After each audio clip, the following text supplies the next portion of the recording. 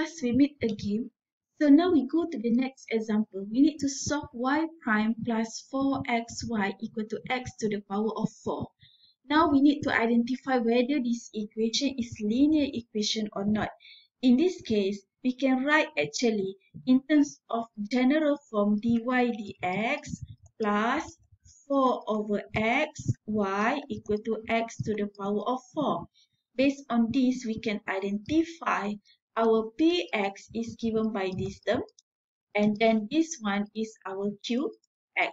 So we have here p of x equal to 4 over x and q of x equal to x to the power of 4. At step number 2, we need to integrate p of x dx. So here we integrate 4 over x dx. In this case, equal to 4 integration of 1 over x dx. So by integrating this one, you'll got 4 ln x.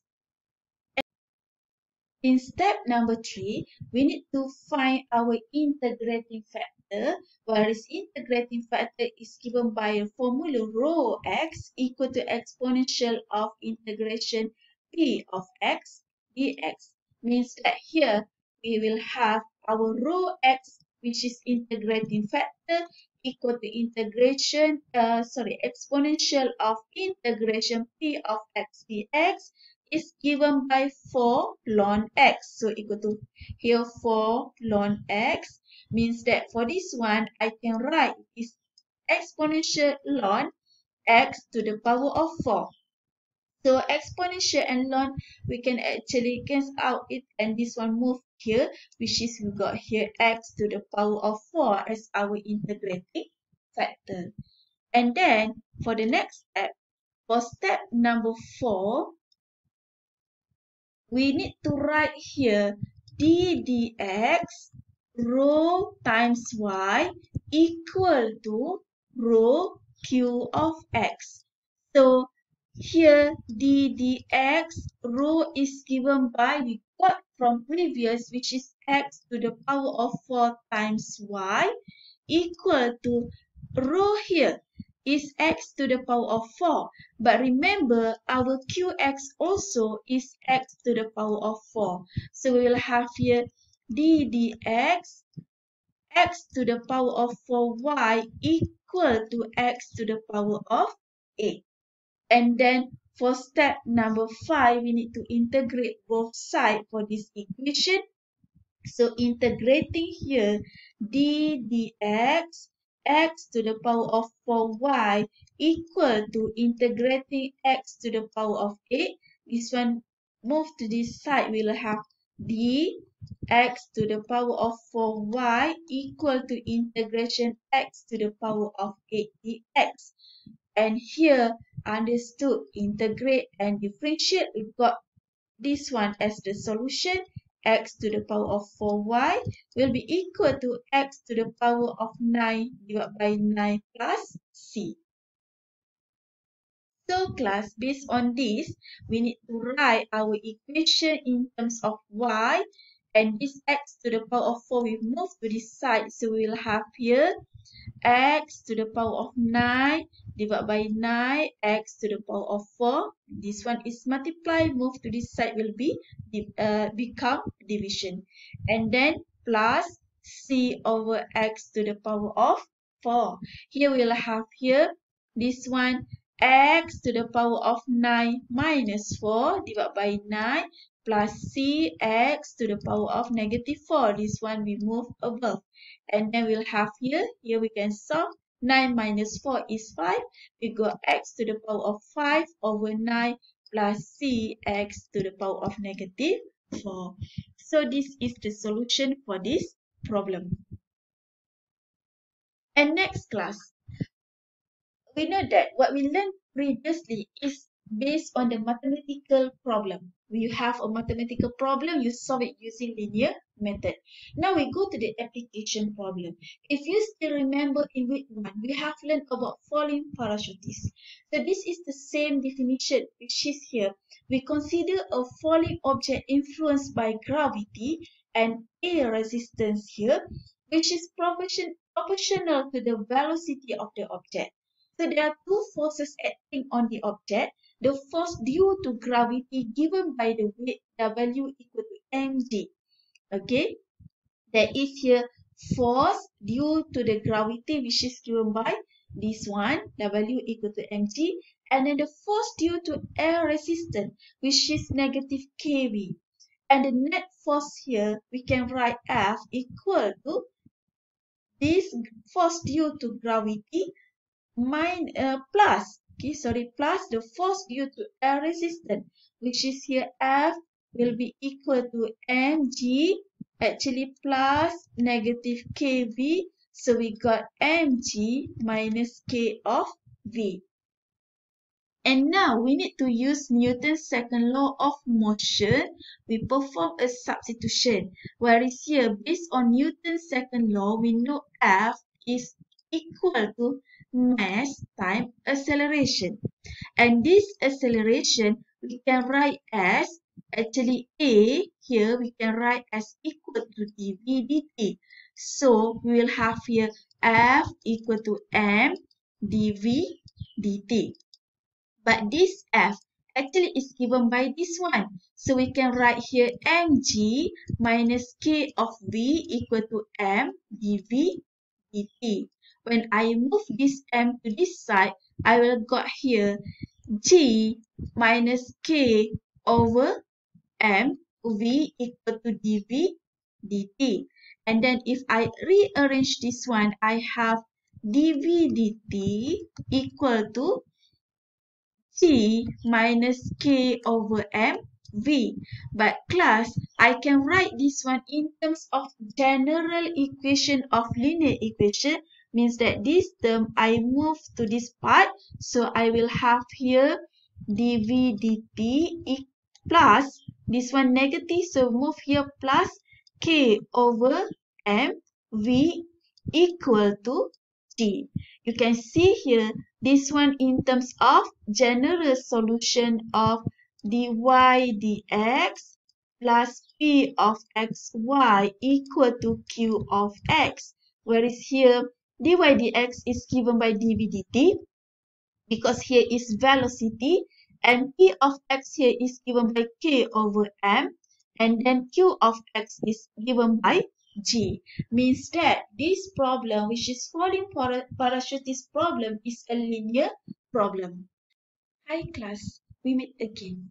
So now we go to the example that related to the previous definition concept of falling object. We have here a steel ball weighing 1 kilogram is dropped from 2500 meter with no velocity. As it falls, air resistance is equal to V over A, where V here is the velocity of the ball in meter per second. The question asks you to find the velocity at time t. If given to you g, which is g here is gravity is equal to 9.8 meter per second. So now, how can we solve this question? In this example, there is no equation. So you have to base on the definition that you have learned previously which is definition of the falling object. Based on that, we know that we have here, there are two forces acting on this ball. So the first one is uh, the force given by the weight, which is influenced by the gravity. Means that here, the weight we know equal to mg, and then we have the force, which is based on the air resistance So in this case, we have here uh, that force equal to actually, for example, I use here F for this air resistance equal to negative K of V.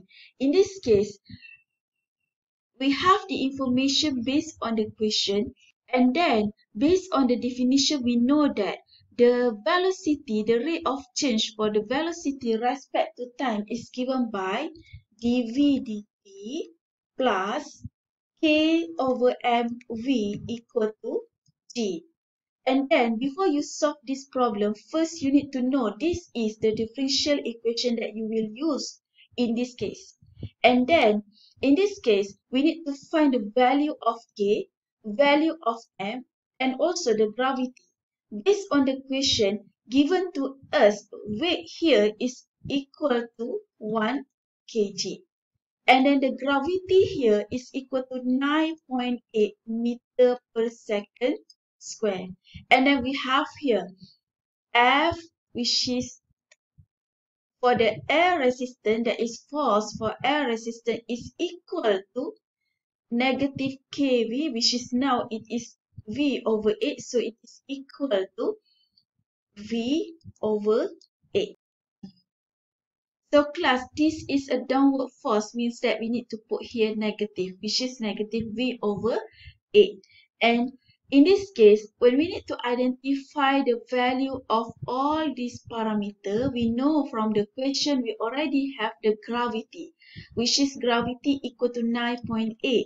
But in this case, we not yet know what are the values of K and also M. So how can we get M? We have this formula. W here equal to mg, which is W is given by 1 kilogram, means that 1 equal to m, the value that we don't know about mass, and then g is times 9.8. So now, how can we solve this problem? We will have here m equal to 1 divided by 9.8.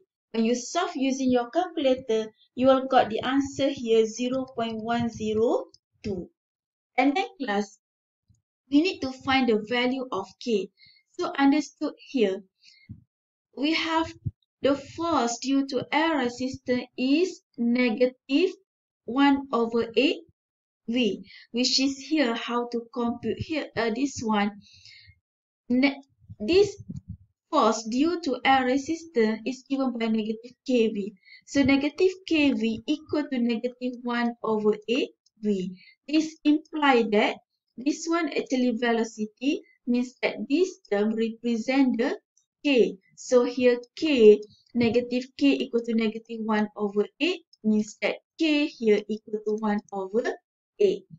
So once we got this one, we know that our differential equation of the velocity respect to time is actually equal to dv dt plus k is 1 over 8. So 1 over 8 times, uh, which is divided by 1 over m here. So 1 over 0 0.102 V equal to 9.8 because G is 9.8.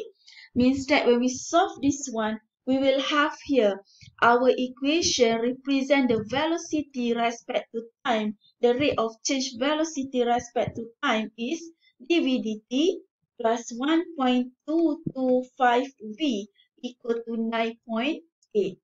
Means that when you want to find the velocity at time t here, you need to solve this differential equation. And based on the previous definition, we can identify that this equation actually is a linear equation. Why? Because you can see the degree of the uh, its derivative and also dependent variable is 1. There is no multiplication between dependent uh, uh, variable and its derivative. And also it can be written in terms of dv dt plus p of v equal to q. So now class, we go to the next step that we need to find the velocity of the uh, the velocity function at time t. In this case, we have here previously the equation dv dt plus 1.225v equal to 9.8. So this is our p of x and this one is our q of x. Means that this is our step number one, our equation already in general form. Step number two, we need to find the value of p of x which is Clearly, it is equal to 1.225 and q of x, it is equal to 9.8. And then from here, you need to find the integration of p of x dx. So it will be equal to integration of 1.225 dx. Solving this one, we'll got here 1.225x. And then class 1, we got this one the next step, we need to find the integrating factor. the integrating factor here is given by rho of, I am so sorry, this one should be P of T, here also Q of T because now our independent variable is in terms of T. So, we integrate respect to T, here also become T. So now the integrating factor will be equal to exponential of that we integrate P of T dt. We'll have here integration. So we will have a exponential of 1.225t because this integration we already solved here. So now class, once we got this one, we go to our step number 4 we need to write our equation in terms of d dt and here actually is rho times y equal to rho q of t. Means that when we substitute rho here and also q of t here, we will have d dt. This rho is given by exponential 1.225t times y equal to exponential, this one is rho, so this is our rho, 1.225t times qt. And qt is given by 9.8. And then, we need to integrate both sides here. When we rearrange this one, we will have here the integration of the exponential 1.225ty equal to 9.8 integration of exponential 1.225t dt. So class, this one understood we integrate and differentiate will got the answer in this bracket. So we'll have here exponential 1.225ty will be equal to 9.8. To integrate this part, you can refer to the mathematical formula book. This is exponential function. When we integrate this part, we will have here, it is exponential of this one, 1.225t. And then we differentiate above, we divide with uh, what we have differentiate here. So we divide with 1.225. Means that when we simplify this, we'll got here uh, this one you need to plus with C. So when we simplify, we got A exponential 1.225t plus T. And then class, we need to write this, sorry, this one is not our Y because actually we have, uh, we have the uh, dependent variable V, so this one should be V. Now class, we need to write V as our subject. We will have here V equal to A exponential 1.225t divided by exponential 1.225t plus C divided by exponential 1.225t. When simplify this one, we can cancel out here and this one we can put it above. We will have finally the velocity function of t can be given by A plus c exponential negative 1.225 So now we answer the question to find the velocity function for this problem. Thus, it comes to the end of week 2 video. Thank you for your attention. Actually, this week is quite tough. You need to know how to integrate function. You need to know also differentiation.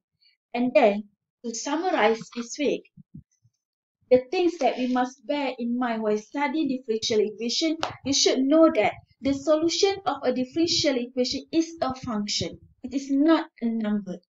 And integration is a basic tool in solving these differential equations. So you have to, you need to have a knowledge on how, how to integrate function. The solution of the differential equation is not unique since we have arbitrary constant in that integration. So class, thank you for your attention. See you in the next video.